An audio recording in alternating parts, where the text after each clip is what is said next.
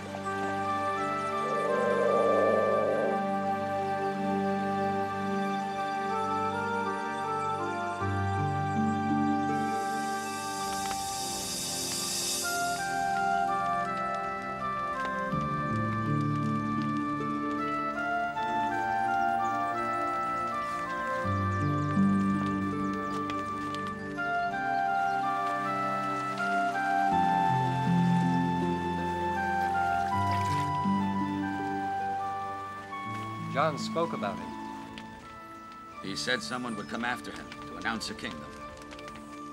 Now John is dead. He must go to Jesus. Some of those that were with us have already gone. But what shall we do? Shall we all go away? Many people come to us to seek a word of comfort, and we cannot abandon them. Let us send somebody to him, and he can tell us what to do.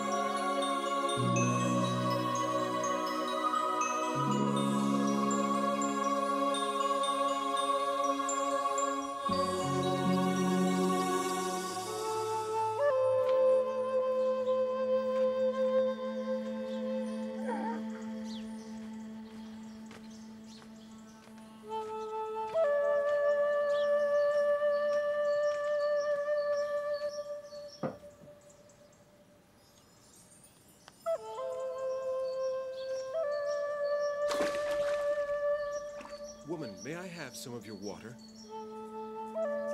But you're a Jew, and you're talking to me. Yes, it's very hot, you see, and I'm thirsty. I wouldn't refuse water to anyone. Where'd you come from? From Nazareth. What? And you're asking me, a Samaritan, for water?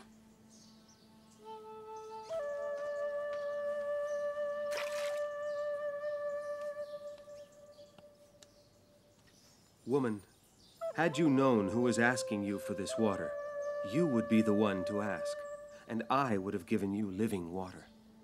How could you have drawn water? You don't even have a jar, and the well is deep. The Almighty made this well spring forth and handed it to Jacob the patriarch. Centuries have passed. Do you think you're better than God? You don't believe me, do you? And I tell you that he who drinks water from this well will be thirsty again. But he who drinks of the water I give will have his thirst quenched forever. The water I will give him will be a gushing spring to eternal life. If you really do have this water, then give me some, so I'll never be thirsty again. And I won't have to come to the well and take water home all the time. If you want this water, then go, call your husband, and come back here. But I don't have a husband. But you've had five in the past, and even though you're with a man now, he isn't your husband. Am I right? But you, how do you know that? I really have had five husbands. You must be a prophet. The time has come for the true worshippers of the Almighty to worship him in spirit and truth only. Lord, you speak to me, a Samaritan woman, as though your message were from the Almighty. The Messiah we are awaiting. He is the one who will bring the good news. Woman, you have understood. I am he Israel is waiting for.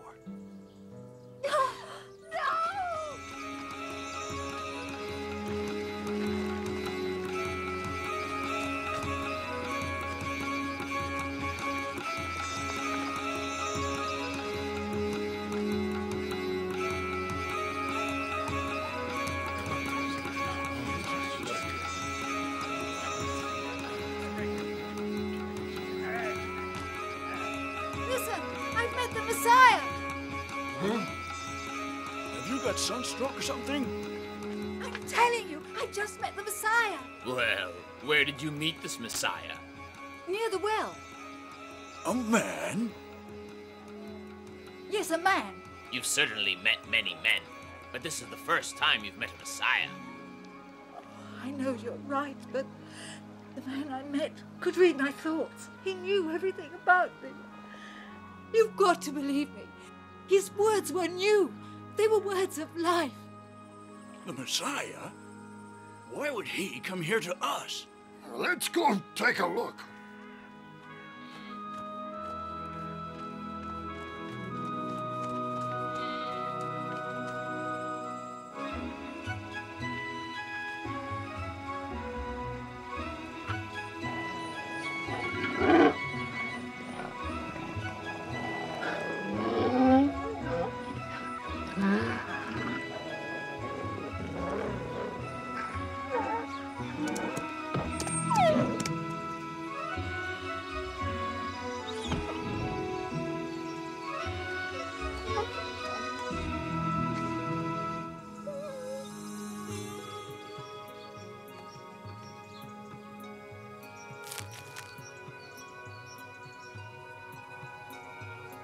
My food is to do the will of him who has sent me. Harvest time is at hand.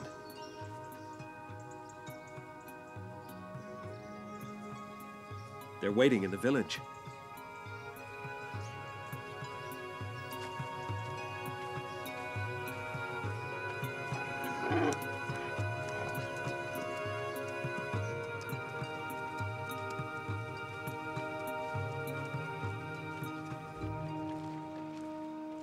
Are you, stranger? My name is Jesus, and I come from Nazareth of Galilee What have you come to Samaria for? to do the will of him who has sent me, and to bring you good news.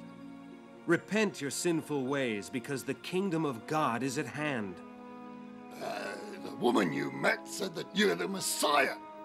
In the book of the prophet Isaiah, it's written, The Spirit of God is upon me, and therefore he has anointed me.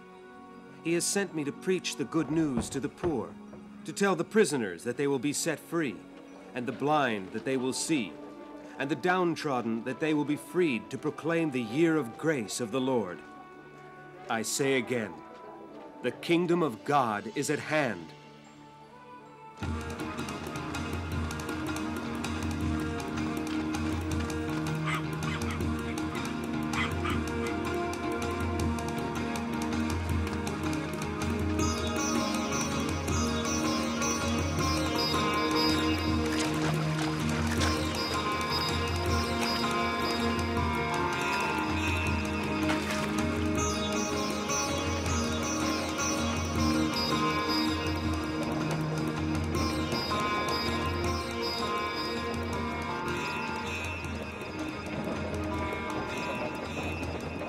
We'll shortly be arriving in Chorazin. We'll spend the night there. All right, Daddy. But Pyrrhus is thirsty.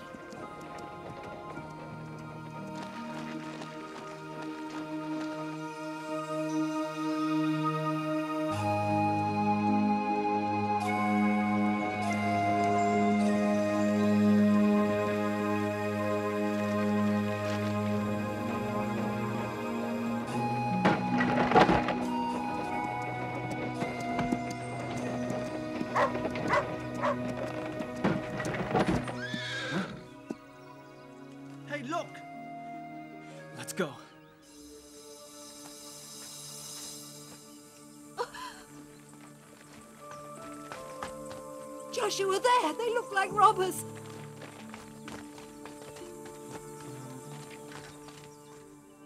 Peace be with you.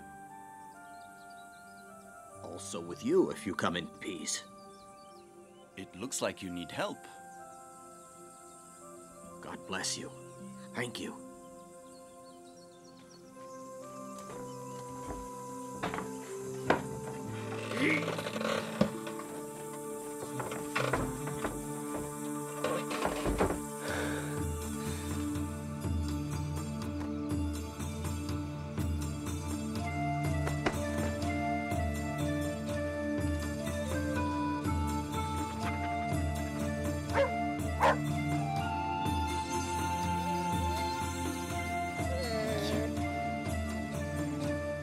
Take some of this fruit. Unfortunately, we finished the water.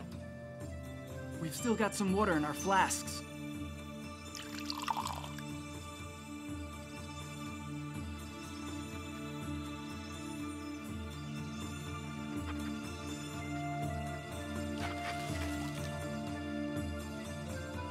Where are you going?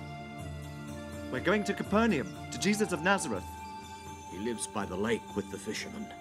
That's where we're going, too. Why do you want to see him? Haven't you seen my son? He's paralyzed, and I want Jesus to heal him. Why do you want to see him? We're taking him a message. May God bless you. You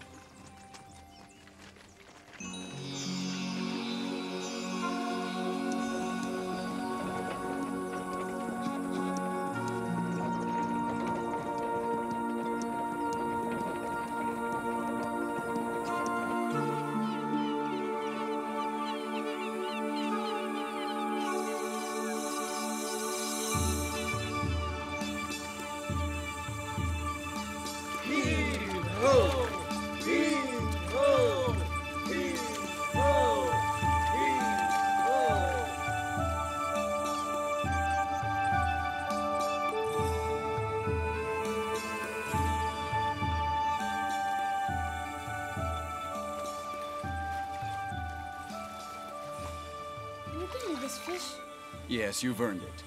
Take it, but what do you want to do with it?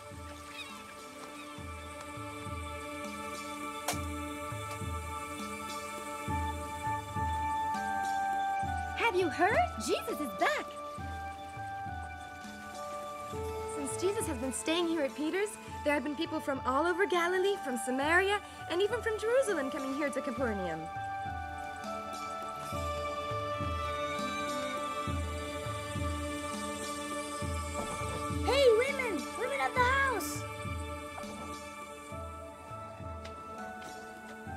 What do you want, Zephyr? I wrote it for Jesus. Whatever for? Don't you know? Jesus is my friend.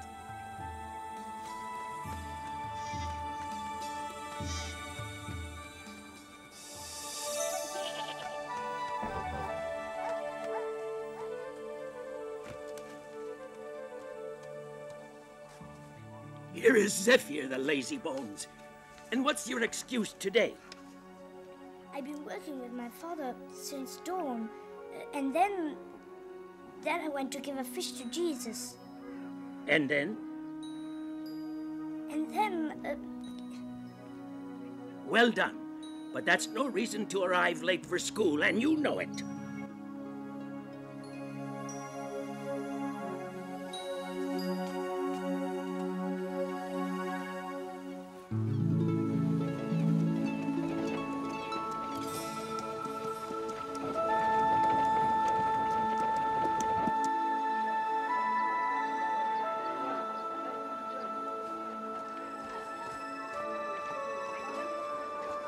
Make way. Let us through. If you really cared about your son, you would have come here early this morning like we all did to see Jesus up close. I got here before sunrise. We've all got something we want to ask him. We'll just have to wait our turn. No, it's too late. Let's go round to the other side of the house. There's no time.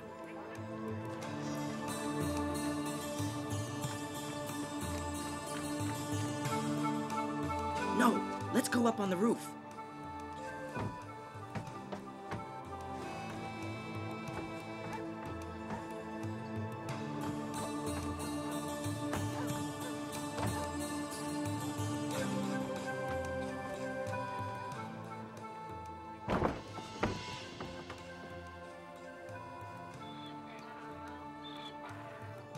Do not store up treasures for yourselves on earth, where moths and woodworms destroy them.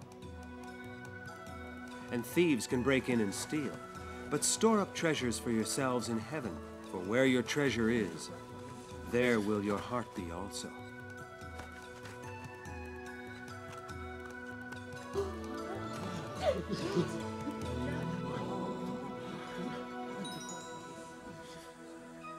Jesus? Your sins are forgiven.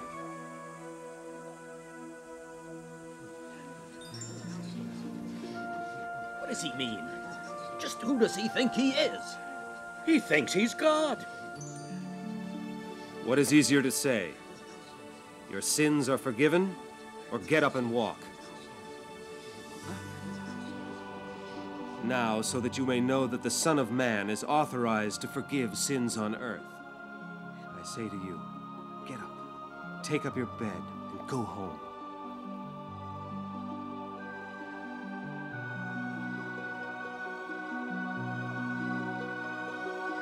Legs! My legs!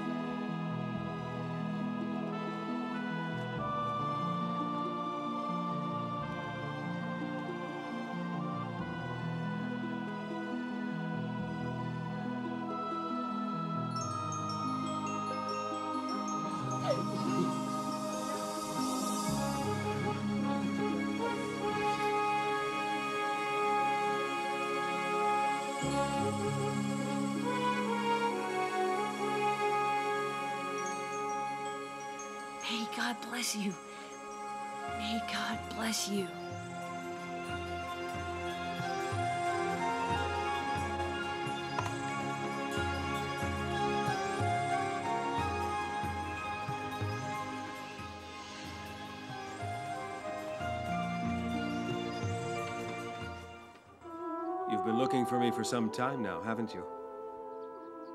Yes, that's right, Master. Master, we have a message for you. John the Baptist is dead. It was Herod's doing. Dead?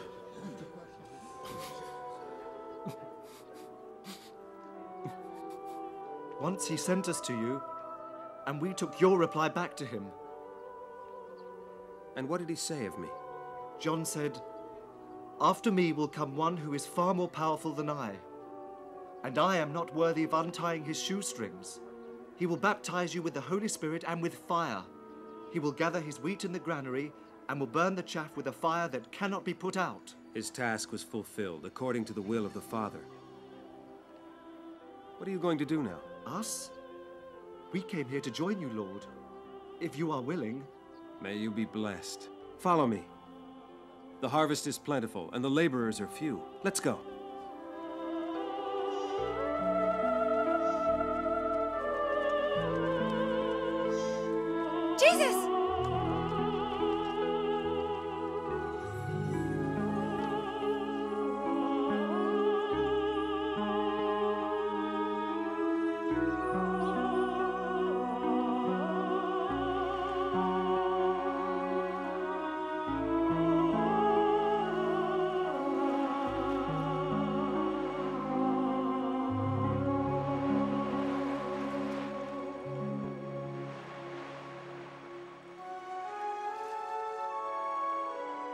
Jesus!